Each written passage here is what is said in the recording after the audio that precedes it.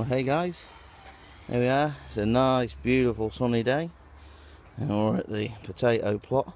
We're just starting to see the first Sarpo Mira potatoes poking through outside. One there, one a little bit further up, just in sort of centre of screen. One a little bit further up that way as well. Um, not these are about a fortnight, three weeks, maybe even a four weeks further on than these here because uh, we got these in at, well early-ish um, and then we got some really bad weather and we couldn't get on with this piece. Um, so these have only been in uh, maybe a fortnight. Um, so we're not expecting anything and they're pretty ridged up these as well so they're going to be uh, a little bit uh, to come uh, we decided not to uh, pull the the soil back over from where the chickens uh, scratted all over it.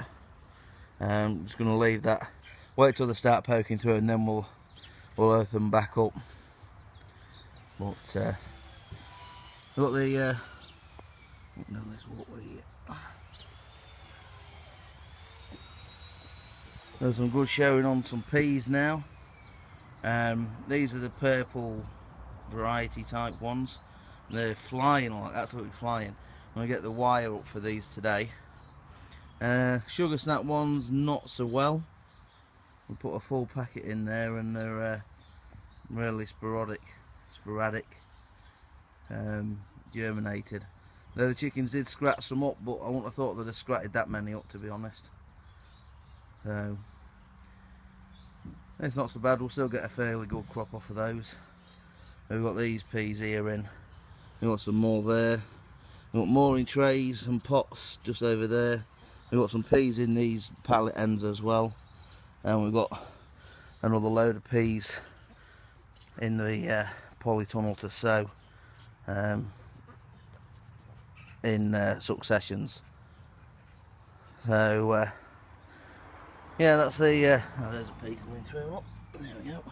So we've got the first showing of Sarpo Miras out here. We've got everything, brassicas, flowers, more brassicas over here, uh, more flowers, more kale, runner beans, marigolds, sunflowers, beetroot, more flowers, all sort of hardening off. Um, starting to get a little bit of tidying in here done now. Got two bags of uh, red Duke of York or Duke of York and two bags of Charlotte, two tumbling toms, my giant Kelsae onions coming on really well now. Lettuce, we're going to be planting some of that later. More lettuce, some Roma toms, melons, dwarf beans, uh, sweet corn there, strawberries, some radish, a nettle, uh, some experimental seeds that we got, uh, tomatoes again, seed packets, plants, more tomatoes, super marmande, uh, cucumbers, Atlantic Giant um, pumpkins, carrots, a few peppers, more flowers. Um, there was. Where is it? On Bonfire Heap. There's one on there though.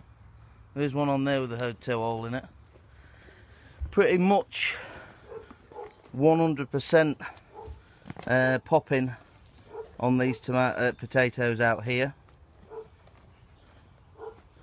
Every bag has got a potato coming through. So that's good. So that's all 22 bags that we planted with potatoes. Still haven't got round to sorting that, but we have made a start on finishing the um, brassica tunnel, fruit trees. We've got cherry tree over there that's absolutely laden. Apple tree is really coming into bud now so we should do good with the apples again. We might not do so well with the plum tree this year because we had to cut it back. We had to really cut it back really hard this year uh, at the win in the winter. Uh, got um, okay um, a little bit like um, I don't know what it what it was but uh, down the centre was starting to die off and the tips that were you know up here well up here were uh, dying back. So we cut them back right back to a, a, a decent bud and we managed to save it. So um, we don't know what was going on there but we'll see if we get any if we get a few plums we get a few plums. I'm not too fussed but uh, we'll probably get a few more next year. So black currants are doing a really good show. We should get some decent black currants off of them this year. We didn't prune them back. And you see the apple tree. Absolutely chocker again. We've got uh, flowers on the red gooseberries over there as well. As you can see chocker on the cherry tree none on this cherry tree at the moment. Wasn't expecting there to be. Only transplanted it last year so uh, nothing on our new cherry tree. Nothing on there. Again wasn't really expecting it to but it might be a later season one. I don't remember the name Morello I think it is. Nothing on the pear tree. Autumn raspberries putting on some show now. And this gooseberry here we actually saved that from uh, in a wall. So we're to have a few gooseberries chickens are all doing well. Just uh, let's put these eggs in this thing here so I can take you up the garden and show you the other bits and bobs. On seven minutes. We're doing okay at the moment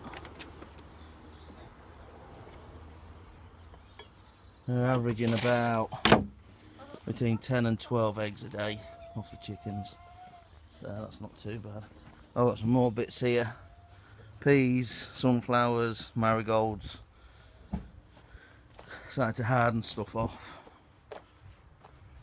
The last of the cabbages and the giant, the uh, elephant garlic. It's starting to, we've got a double onion there for some reason. That's a decent cabbage, we're having that for dinner today. So, this area's starting to take shape now. We're hoping to use it as maybe as a bit of a staging area and build some uh, frame up, board it up and have it as uh, uh, somewhere to stand plants or whatever. Uh, shed. Ferrets are okay. Just the, uh, show you the chicks. There they are. These are the Brazy chicks. Uh, they're doing good. Uh, hopefully got some more chicks coming soon. Tulips have done a really good show flowers this year. This is the wire for the peas. Really beautiful heads on these primulas and that now. Look at them. Absolutely spot on. Marigolds, old English marigolds. I'm going to save the seeds from those to sow for next year. Wheelbarrow's doing good. And sorting pots out around this way. We're in a bit of a shady bit now, but uh, all strawberries are taken in the bags and pots and tubs and things. Got some more sweet peas, some more plants.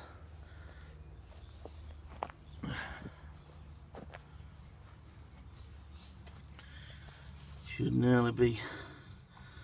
Then here is all the spare onion. I think there's about six or seven Anya potatoes, maybe a few more. Um, I dug down a little bit yesterday um, and they're about a hand's width down so they're, they're coming through what we've got um, international kidney coming through. You can pretty much tell where they're going to come through because they push the soil up above them like a little bit of a molehill.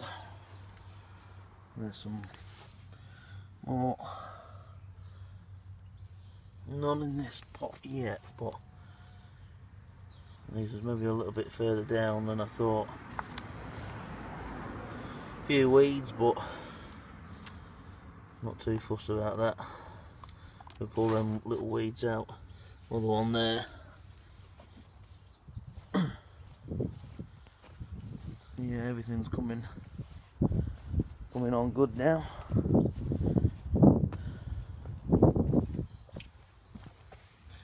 Yeah, got the international kidney coming through in my test pots. A few weeds again. Now there's only one seed potato in these. I've got three of these pots around. One on this side of the house. That's my leeks. One on this side of the house.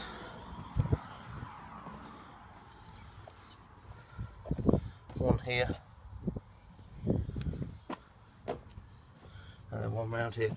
This side of the house doesn't really get a lot of um, a lot of sun at all but does get it in the morning. More pallet ends with uh, flowers in. These are my surplus. Uh, giant onions sweet corn a few toms. We put out for sale. So tulips have done really well for us this year in the pots and things. Bits and bobs. Starting to come good out in the front here now We've got a load of more, load more plants. Now this uh, daffodil here has been flowering for about seven weeks now. And it's just starting to die off. This one flowered for maybe a week, a week and a half, two weeks. And this one's nearly seven weeks.